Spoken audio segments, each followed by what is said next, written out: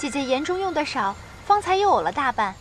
西泽大人亲自烤了地瓜，命人送来，姐姐用些可好？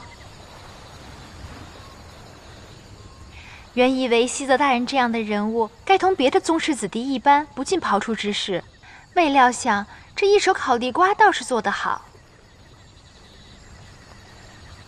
西泽大人避居奇南后山，厌烦他人扰己清修，许多年一直未要仆从，这些事情自然做得纯熟。西泽大人这些事，怕仅有姐姐知晓吧？据妹妹所知，西泽大人下山十日之久，却未去阿兰惹处瞧上一眼，可见如传闻所言，他果然是不在意阿兰惹的。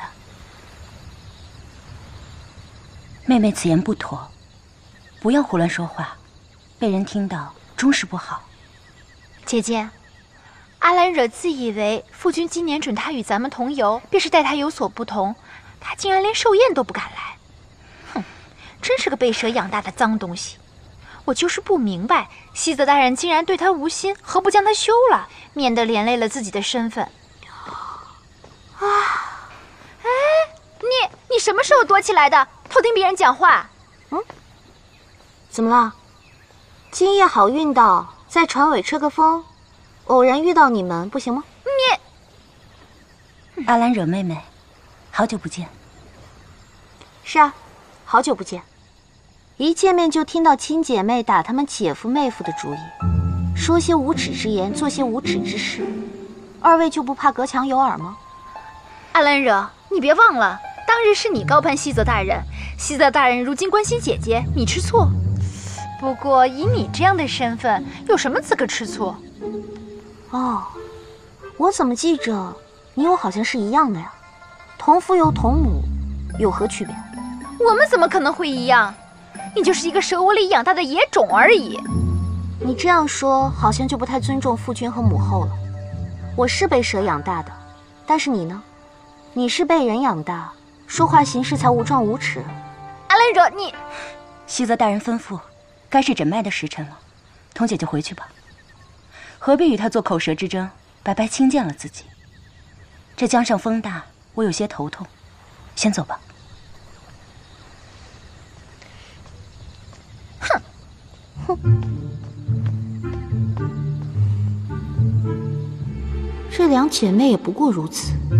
阿兰惹，我可是帮你出了口恶气。殿下。殿下，糟了，我都忘了，查查一定是寻我去画舫陪亲殿，我得赶紧去找莫少。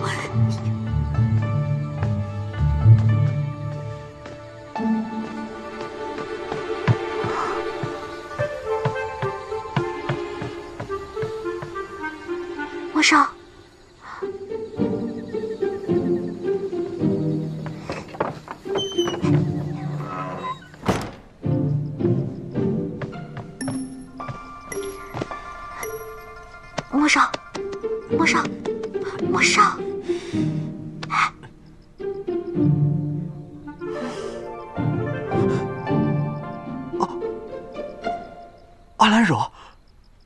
是阿兰惹，是我凤九。哎呀，你醒醒，莫少，凤九。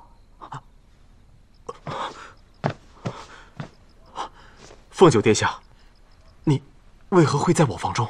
有事吗？你忘了，我之前都跟你说了，我真的没有办法相安无事和那亲殿共处一室。要不我睡你这儿凑合凑合？哎哎，不行！哎哎，你开什么玩笑啊？绝对不可以！那我不管。没办法了，要不你去陪亲殿，我就在这睡。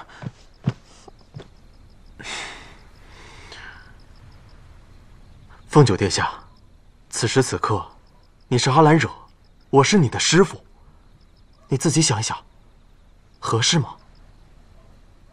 那怎么办啊？我真的，一提到手我就害怕，我肯定不能跟他共处一室。要不然，你再想想办法。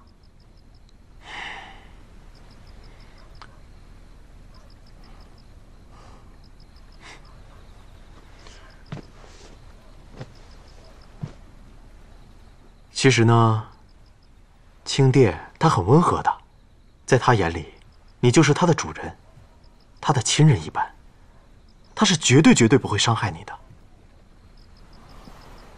我不管，反正我就是害怕。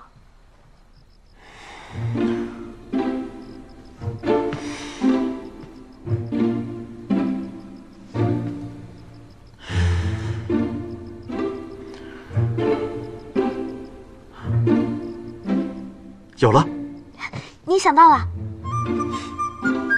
想到了，但是你要遭点罪。哎，没问题，什么办法说来听听。好，你先背过身去。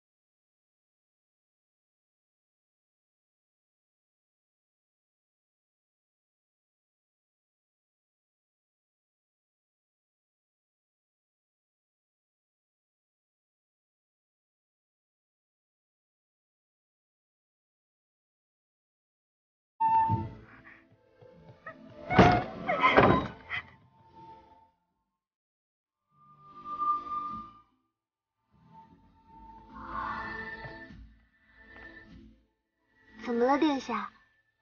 昨晚可是没睡好，落枕了。苏沫叶，苏沫叶，可真有你的。呃，昨夜清殿绕着殿下转悠到大半夜，挨到臣前警戒出名，方嫣嫣睡去了。